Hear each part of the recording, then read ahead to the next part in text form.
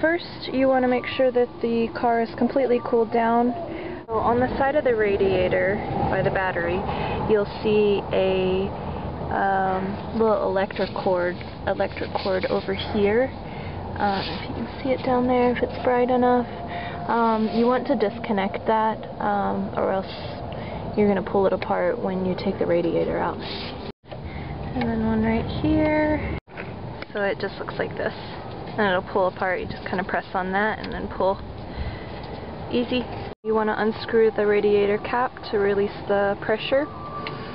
And then if you look down on the side, so kind of get this oriented, so down in here, you'll see a part that looks like this. You're going to unscrew this and all the water, the radiator is going to leak out um, and should go through this hole but sometimes it's like really pressured and it um, sprays everywhere. But you want to have a pan underneath the car to catch everything. So once that all drips out, you're ready to um, take off the hoses here and here. So this one's pretty easy, just this little little hose right here comes right off. Um, and then you're going to take this hose off as well as this hose and it's going to come off of here and it's going to lift out of the car when you take the whole radiator out.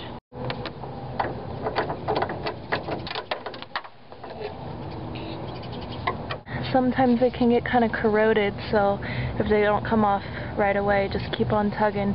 The last little hose is down here. It's this little metal piece that comes from the radiator, and you'll see a, a flexible rubber hose right here, so you want to disconnect that too. You have one on the side, one on the other side under the fan, and they're pretty annoying. Just um, have to muscle through it and get them off of there. This little bolt here and it's basically just a stabilizer and then this one on the side over here so you just loosen these bolts and it comes right off. So comes right off. And now you have a loose radiator. So you want to pull it out and um, it'll probably leak some more on the side here. So just be aware of not getting it on yourself or on something that uh, animals will lick up because this stuff is pretty nasty. Now you just gotta lift the radiator out, make sure the hoses stay out of the way. One hose is coming with you, so that.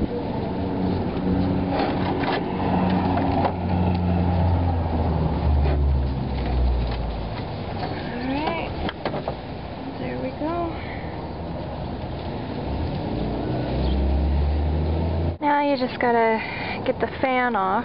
So you have some bolts in here and then down here. So you should have four. And then you're just gonna place it on the new one right where you see them connect.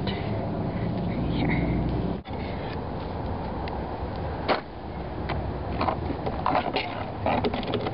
It's a good idea to re just replace all of the hoses, especially if it's an old car like this so you haven't done it in a while. So be sure to take this hose off and then this hose that's now connected or that's still connected here and you're just going to put the new ones on.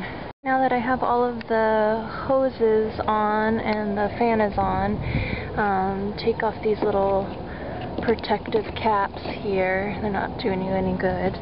I have removed the hose that was attached to this metal tube um, and I'm putting it on the new radiator. It's easier to put this on while the radiator is out of the car because it's impossible to reach the um, hose clamp under here.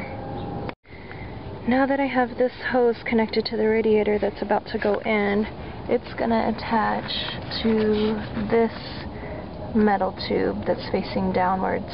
I'm going to drop the radiator into um, these little spots right here and right here.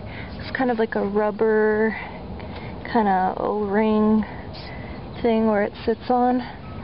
You just want to kind of wiggle it into place, slide it in there until um, it sits in the right spot.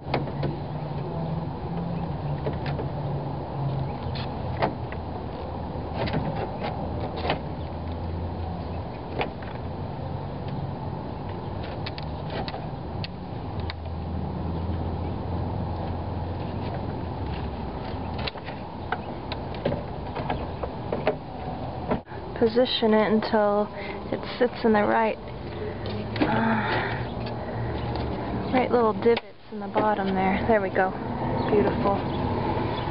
And reattach this here and bolt it on on both sides. So and this one here. So it'll get seated in place and then I'll put all the hoses back on. Now we can connect these little hoses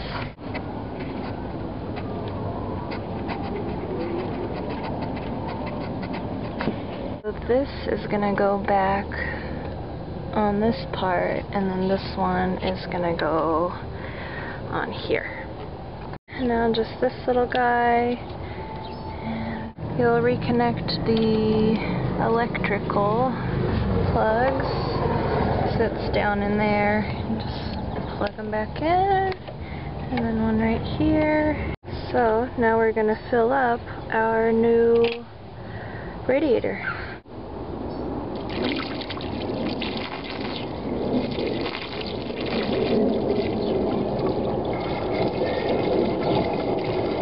Replace your uh, battery cable there. Um, so you get power. And now we're gonna start it up. Replace the cap of course. Start it up